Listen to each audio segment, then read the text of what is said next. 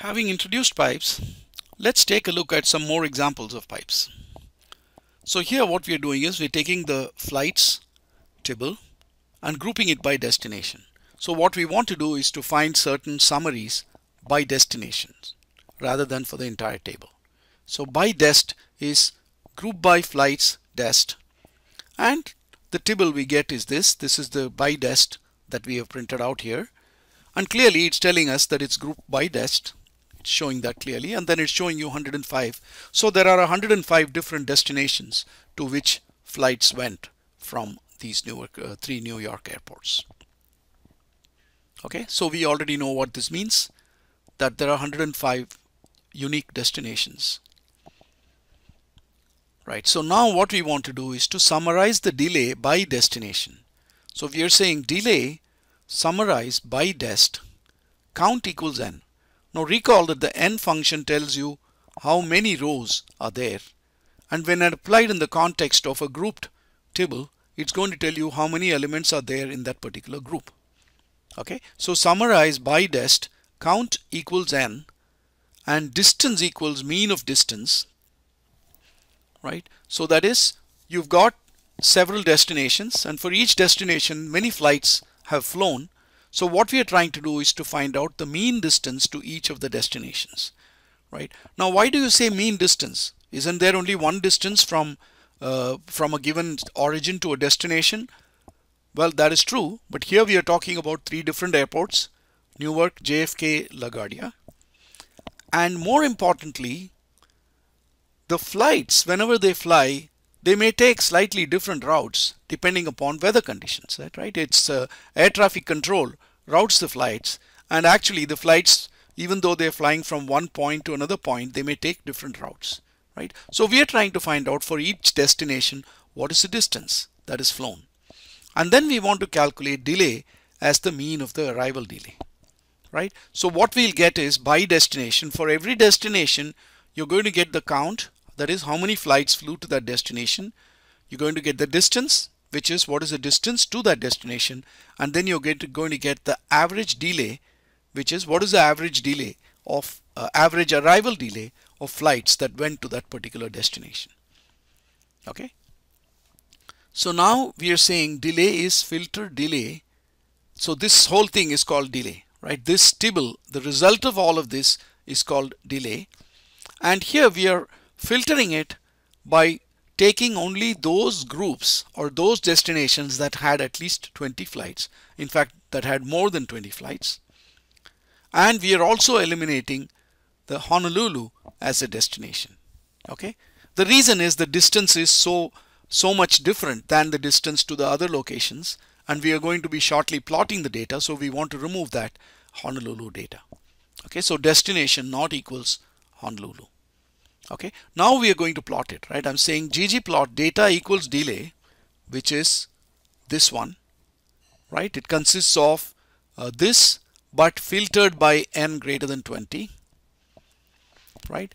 And what we are trying to do is to see if the delay has anything to do with the distance, right? So we are saying put the distance on the x-axis, put the delay on the y-axis. Delay, of course, is the average delay, really, right? And then we are doing geom point which is a scatter plot. And we want to make the size of the point proportional to how many flights are there for that particular destination. Okay? And alpha equals one third because some of the points will overlap. We want to put a level of transparency. Okay? So the question is is the delay dependent on the distance? Okay? In fact it does seem so right it seems that as the distance increases, the delay sort of comes down slightly. Okay. The reason might be that for short flights, there isn't much time to make up for any delays that may have occurred during the start. Right. Most of the time or almost all of the time, delays happen because of departure delays. Something happens, the flight delay uh, is delayed in departure and then of course it's also delayed on arrival. But on flights which are very long duration flights, there is some opportunity to make up some time. Whereas on a short flight, you don't really have any opportunity to make up. And clearly that is what this is showing. This is showing you that uh, for longer flights, the average delay is actually somewhat lower. Okay, and of course you can see that uh, the the larger circles are all on the smaller flight side okay which means there are more flights to places that are reasonably close than to places that are really far away. Okay direct flights. Obviously there might be a lot of connecting flights but here we are talking about direct flights. Okay and then we did a geom smooth to print this line right? Instead of SE, uh, instead of if, if, instead of getting this smoothed loess line if we wanted the regression line we could have said method equals lm and then we would have got the straight regression line. That in fact more clearly shows the the reducing delay with distance okay? So this is an example of the kind of thing that we'll be doing all the time. We'll take a data set okay do some processing on it all kinds of processing on it and then perform some visualization on that.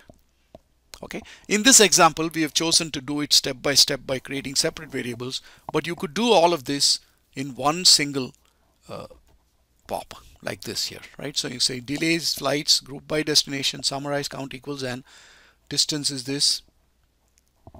Okay. And then filter uh, filter the flight by count greater than 20 and destination not equal to Hawaii and then you can take delays and pass it on to uh, to ggplot or alternately you can just pipe this whole thing to ggplot as well.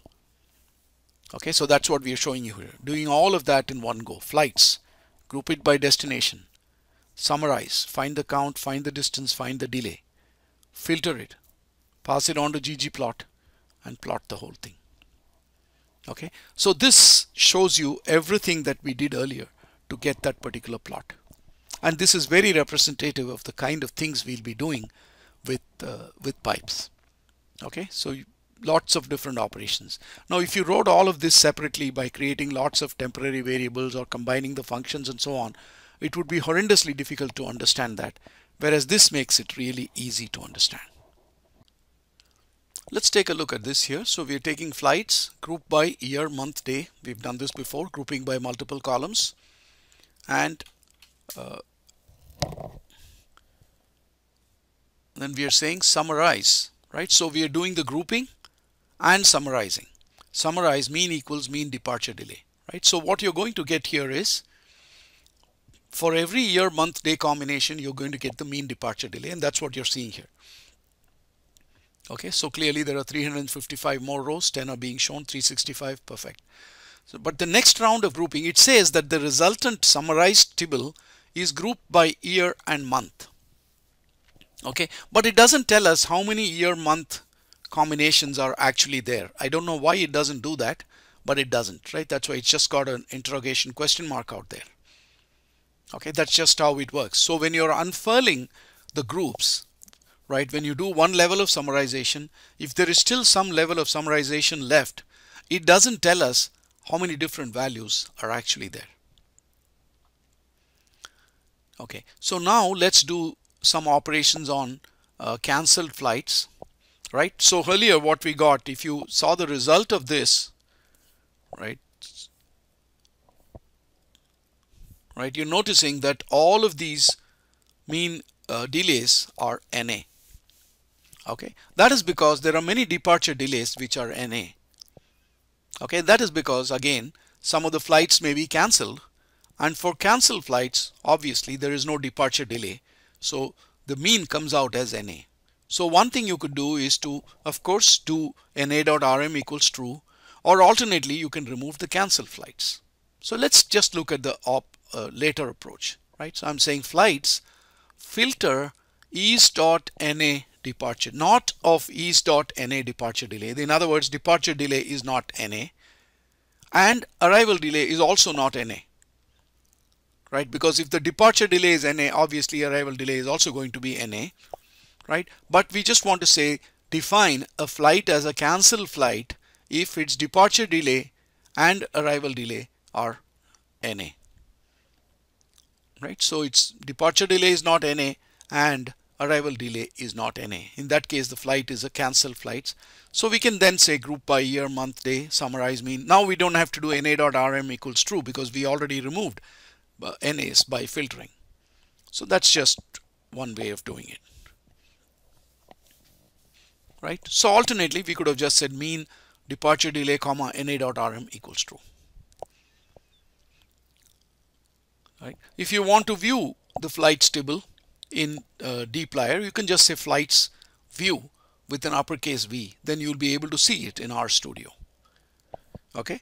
Now sometimes, as I've already pointed out, we perform operations on data frames or tables by using the square bracket, right? So you could do df double square brackets x, which is to get the column whose name is x, or df double the square bracket 1 to get the contents of the first column, and so on.